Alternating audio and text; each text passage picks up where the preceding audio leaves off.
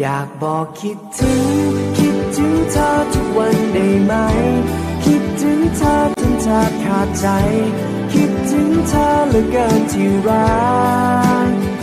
ยังรอตรงนี้ รอแค่เธอคนเดียวเท่านั้น คิดถึงเธอทุกคืนและวัน คิดถึงเธอคิดถึงจริงๆ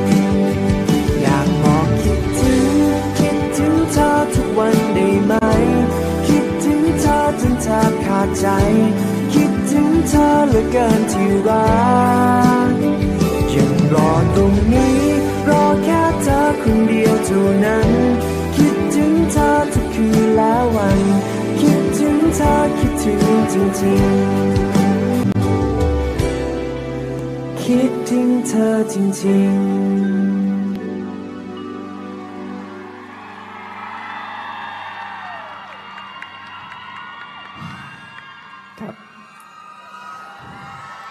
ก็ ผมคิดว่าทุกคนเนี่ยน่าจะรู้จักผมในบทบาทนักแสดงแล้วใช่ไหมครับ ผมก็ต้องบอกว่าผมเนี่ยเป็นหนึ่งคนที่โชคดีมาก ๆ เลยนะครับผมที่ได้รับการสนับสนุนจากพี่ๆแฟนคลับทุกๆคน แล้วก็ได้รับการสนับสนุนจากโอกาสจากผู้ใหญ่หลาย ๆ คนด้วยนะครับ ผมทำให้ เส้นทางการเป็นนักแสดงของผมเนี่ยยังดำเนินต่อไปได้เรื่อยๆนะครับ ผมก็ต้องขอขอบคุณทุกๆกำลังใจครับผม แล้วก็